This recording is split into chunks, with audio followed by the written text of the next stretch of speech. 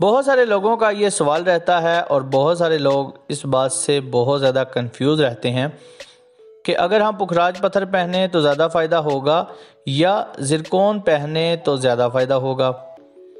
आज मैं इसी बात को आप लोगों के साथ डिस्कस करने जा रहा हूँ। सबसे पहले मैं आप लोगों को इन पत्थरों का फ़र्क बताऊँगा और आखिर में अपना पॉइंट ऑफ़ व्यू दूँगा। सबसे पहले हम देखते हैं कि पुखराज और जिरकोन इन दोनों में प्रीशियस कौन सा है और नॉन प्रीशियस कौन सा है? पुखराज करंडा फैमिली का एक पावरफुल पत्थर है, जिसका शुमार नौ रतन, यानी कि दर्जा अव्वल के नौ बेहतरीन पत्थरों में होता है। ये एक प्रीशियस पत्थर है। जिरकोन एक सेमी प्रीशियस स्टोन है। कुछ लोगों को क्यूबिक जिरकोन और जिरकोन की वजह से कन्फ्यूज़न हो जाती है। क्यूबिक जिरकोनिया इंसान का बनाया हुआ पत्थर है, जबकि जिरकोन एक नेचुरली पत्थर है, जिस पर एक मुकम्मल तहकीक हो चुकी है। अब बात करते हैं कि पुखराज का सब्सिट्यूट क्या है। कुछ लोग ये ख्याल करते हैं कि पुखराज महँगा पत्थर है तो क्यों ना हम जिरकोन पहन लें? तो मैं आप लोगों को बताता चलूँ कि जिरकोन पत्थर पुखराज का नेमुल बदल नहीं है। आप इसको पुखराज का मुतबादल समझ के नहीं पहन सकते। अगर आप एक अच्छा पुखराज नहीं खरीद सकते तो आप पुखराज की दीगर इकसाम में से कोई पहने, जैसा कि सुनैला पुखराज हो गया। सुनैला पुखराज एक अच्छे पुखराज का मुतबादल हो सकता है आपको थोड़े बहुत पुखराज के फ़ायदे दे सकता है, लेकिन जिरकोन आपको वो फ़ायदे नहीं दे सकता जो एक पुखराज या उसका मुतबादल पत्थर दे सकता है। तो सबसे पहले आप अला क्वालिटी का पुखराज पहने। अगर वो आप ना खरीद सकते हो तो उसकी जगह सुनैला या जर्द पुखराज आप पहन सकते हैं। अब बात कर लेते हैं इनकी क्वालिटी, यानी कि इकसाम की। पुखराज में बहुत सी क्वालिटी हैं। अच्छे से अच्छा पुखराज भी मार्केट में अवेलेबल है और हल्के से हल्का भी। जिरकोन में भी आपको बहुत सी इकसाम मिलेंगी। जिरकोन भी आपको अच्छे से अच्छा और हल्के से हल्का भी मिल जाएगा।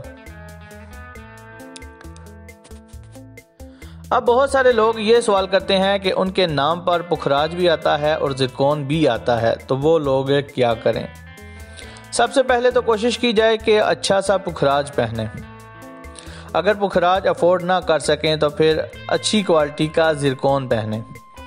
अगर अच्छा पुखराज भी ना खरीद सकें और जिरकोन भी आपको अच्छी क्वालिटी का ना मिले तो फिर हल्की क्वालिटी वाला पुखराज पहने। फिर आप हल्के जिरकोन की तरफ़ मत आएँ, बल्कि हल्का पुखराज पहन लें, जिसकी क्वालिटी बेशक लो हो, लेकिन हो पुखराज। अब बात करते हैं कि जी ये नेचुरली इन दोनों में से कौन से पत्थर हैं? पुखराज नेचुरली है या जिरकोन नेचुरली है? तो पुखराज भी एक कुदरती पत्थर है, जिरकोन भी एक कुदरती पत्थर है।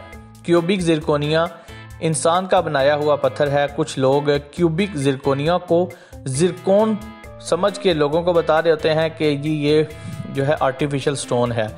जिरकोन आर्टिफिशियल नहीं होता, क्यूबिक जिरकोनिया। ये एक पत्थर है जो इंसान का बनाया हुआ है। वो आर्टिफिशियल होता है। जिरकोन एक नेचुरली पत्थर है। कुछ लोग ये सवाल करते हैं कि क्या इन दोनों के बेनिफिट्स एक जैसे हैं? पुखराज और जिरकोन के फवायद एक दूसरे से मिलते जुलते हैं। इन दोनों के असरात मुख्तलिफ़ हैं। दोनों पत्थरों का इंसान पर इफ़ेक्ट होने का दौरानिया पीरियड अलग अलग है बस मामला में ज़िरकोन जो है वह जल्दी फ़ायदा इंसान को देता है, उस पर जल्दी असरानंदाज होता है और कई सूरतों में पुखराज इंसान पर जल्दी अपने असरात मरतब करता है। सो ये कहना कि इन दोनों में से किसके फ़ायदे ज़्यादा हैं, ये नहीं कहा जा सकता। अब मैं आप लोगों को अपना पॉइंट ऑफ़ व्यू देता हूँ। आप चाहे पुखराज या ज़िरकोन पहने, मैं आपको यही कहूँगा कि पत्थर का इंतहाब अच्छा करें और अतमाद वाले बंदे से ही पत्थरों को ख़रीदें। पुखराज और जिरकोन दोनों ही इफ़ेक्टिव स्टोन्स हैं। बस स्टोन की क्वालिटी अच्छी होनी चाहिए। फिर बेशक जिरकोन हो या पुखराज हो। तो दोस्तों, उम्मीद करता हूँ कि आप लोगों को ये वीडियो अच्छी लगी होगी इन्फॉर्मेटिव लगी होगी। अगर अच्छी लगी है तो इस वीडियो को जाते हुए लाइक करें कमेंट करके बताएँ कि आपको ये वीडियो कैसी लगी। So guys thanks for watching Allah हाफिज़।